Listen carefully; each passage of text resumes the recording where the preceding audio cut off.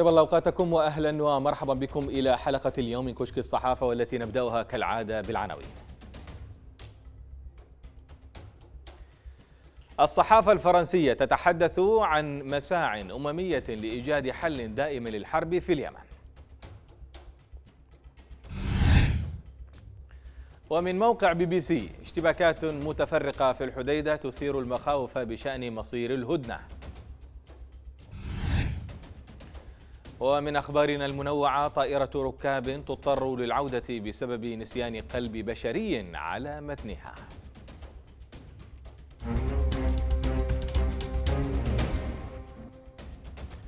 أهلا بكم.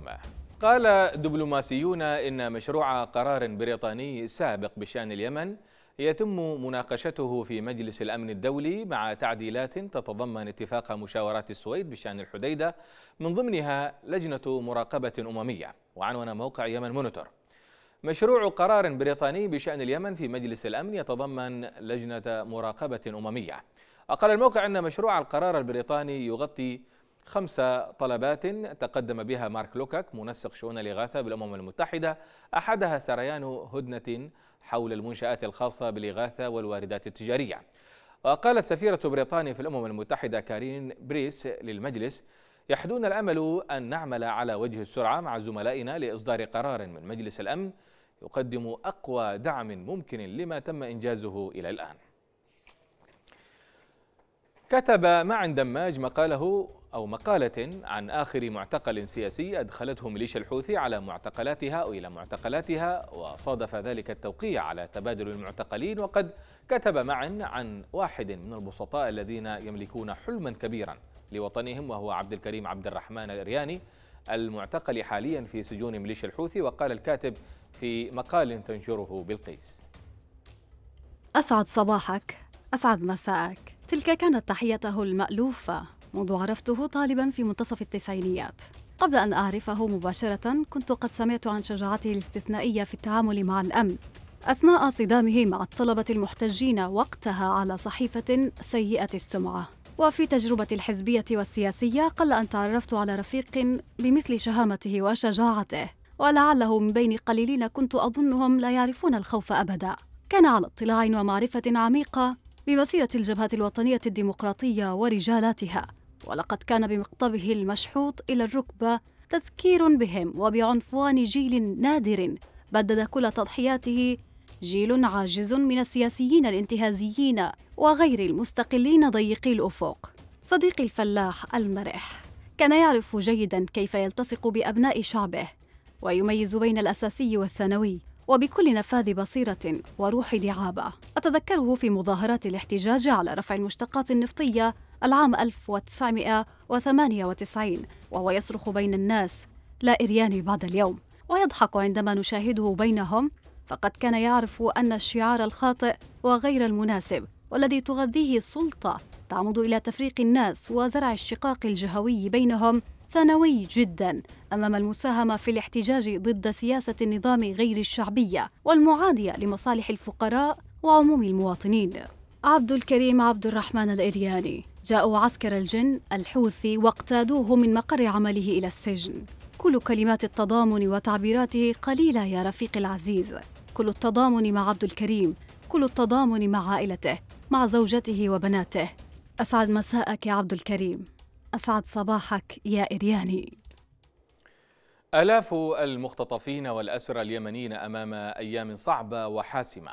منحتهم الجولة الأخيرة من المشاورات بصيص أمل لكن أمهات المختطفين يبدين خشية وقلقا من تعثر تنفيذ الاتفاق. وعنون المصدر أونلاين.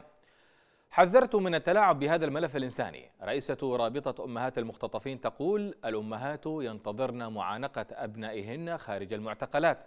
وقال الموقع خلال السنوات الماضية ومنذ انقلاب ميليشيا الحوثي وما تبعه من أبشع موجة للانتهاكات حقوق الإنسان في اليمن كانت رابطة أمهات المختطفين المنظمة اليمنية الأكثر حضورا في متابعة قضايا المختطفين.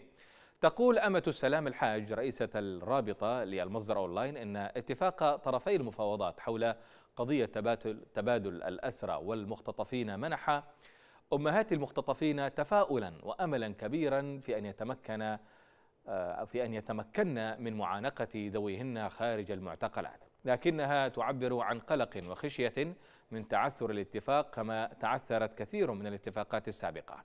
وتضيف نأمل أن يتم الإفراج عن أبنائنا عن أبنائنا المختطفين في كل السجون والمعتقلات والمخفين قسرا من كل الاتجاهات. فنحن كأمهات لا نفرق بين اليمنيين على الإطلاق.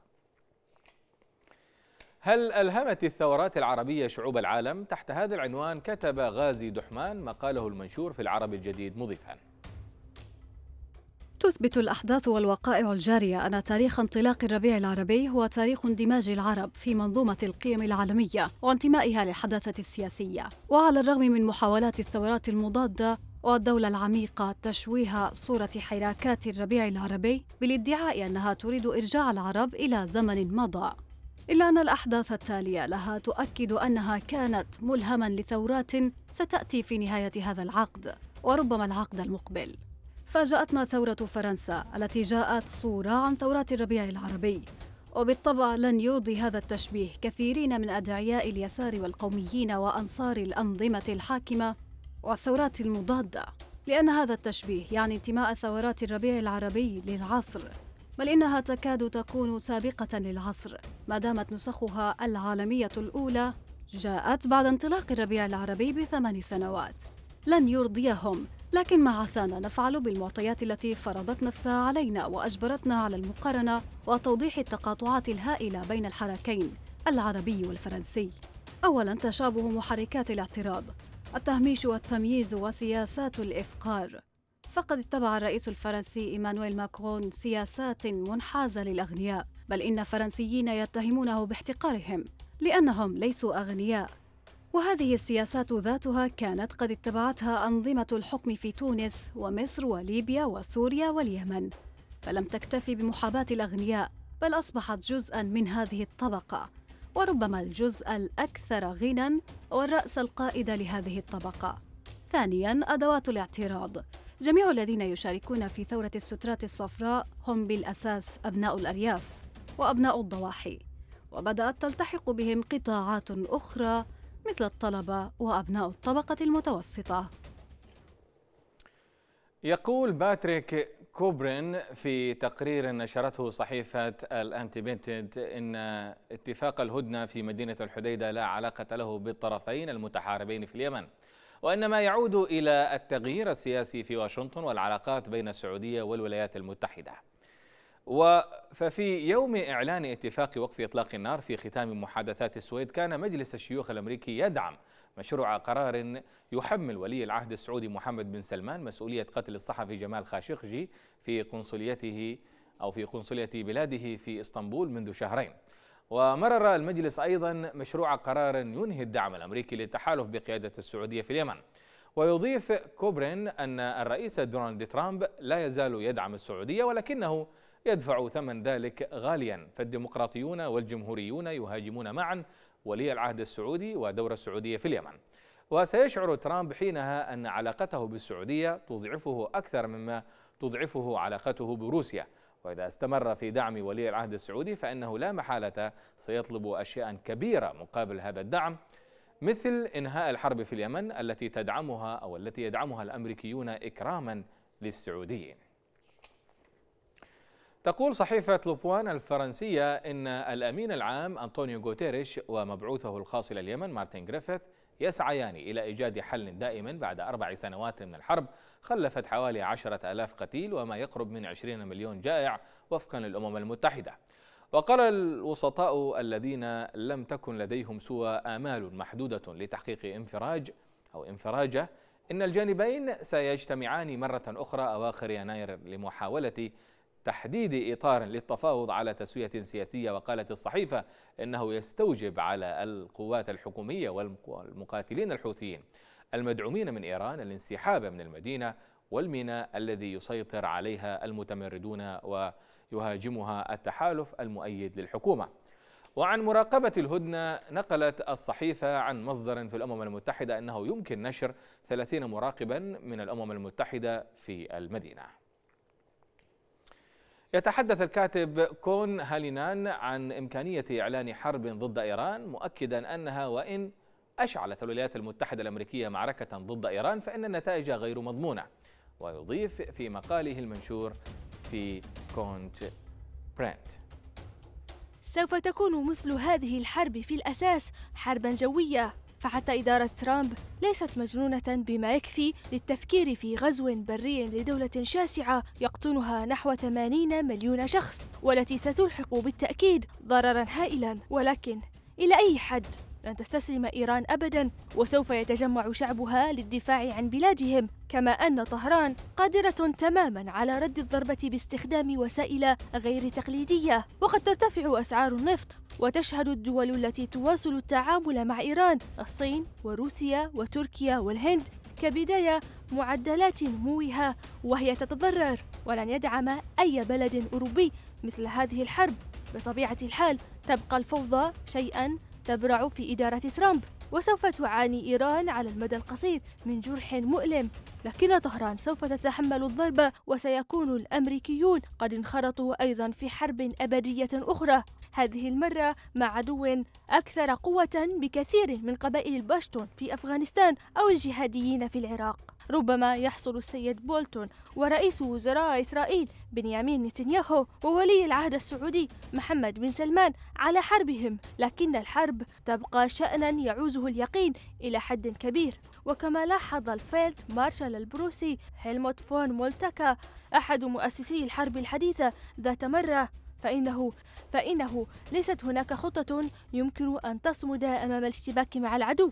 لقد كتب إيرليش الفائز بجائزة الفائز بجائزة بيبودي ومؤلف خمسة كتب تحليلا جاء في وقته لسياسة الولايات المتحدة الخارجية تجاه إيران. والسبب في أننا نحن والعالم نتجه في حال واصل بلدنا مساره الحالي إلى نفق مظلم طويل. تابعت شبكة البي بي سي البريطانية المعارك في الحديدة والتي قالت إنها تهدد الهدنة وعنونت الشبكة. اليمن. اشتباكات متفرقة في الحديدة تثير المخاوف بشأن مصير الهدنة. وأضافت أنه وقعت اشتباكات متفرقة على أطراف مدينة الحديدة اليمنية وهو ما أثار مخاوف من انهيار الاتفاق على هدنة جديدة. وتوصل الطرفان المتحاربان الخميس إلى اتفاق أو الاتفاق وقف إطلاق النار بالحديدة في ختام محادثات جرت بينهما في السويد. ويأمل الجميع وفقا للبي بي سي أن تسمح الهدنة في المدينة التي يسيطر عليها الحوثيون بالتوصل أو بتوصيل المساعدات الإنسانية إلى ملايين اليمنيين المهددين بالمجاعة. وتضيف البي بي سي.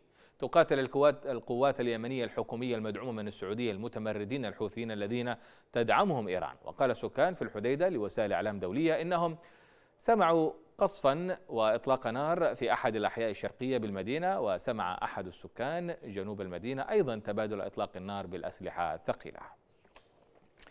من أخبارنا المنوعة نطالع من موقع ديتشيف فيليه عنوان طائرة ركاب تضطر للعودة بسبب نسيان قلب بشري على متنها.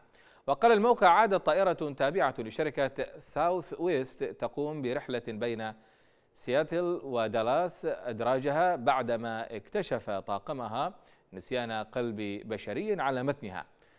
علينا العودة إلى المطار حيث أقلعت الطائرة. رجاء هذه ليست نكتة. هكذا أبلغ كابتن الطائرة ركابه بقرار العودة إلى مطار سياتل بعد مرور ساعة ونصف على إقلاع طائرة شركة إيرلاين ساوث ويست المتوجهة إلى مدينة دالاس. وبسبب العودة كان قلب بشري متبرع به يفترض أن تسلمه الطائرة القادمة من كاليفورنيا في مطار سياتل لكن القلب البشري بقي في الطائرة وطار معها إلى رحلتها القادمة إلى مدينة دالاس.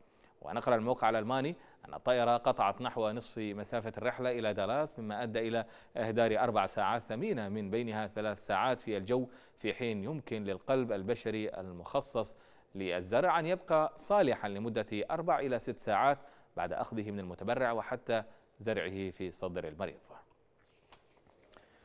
صحيفة الجارديان نشرت صورا عن أهم الأحداث الأسبوعية التي رصدتها عدسات المصورين في مختلف أنحاء العالم. نتابعها.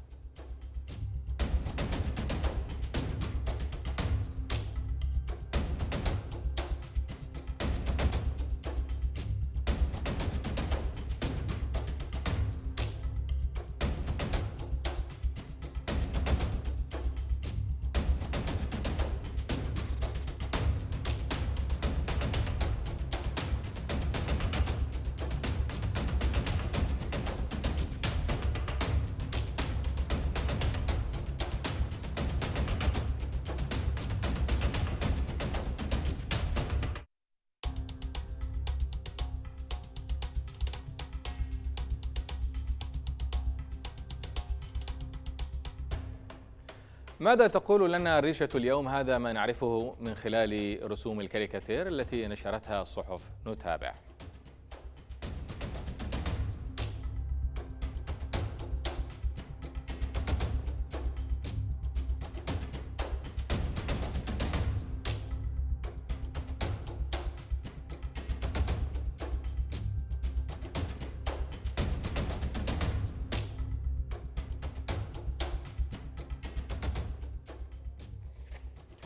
بهذه المجموعة من الرسوم الكاريكاتورية نكون قد وصلنا وإياكم إلى ختام حلقتنا لهذا اليوم. نشكركم على المتابعة وإلى اللقاء.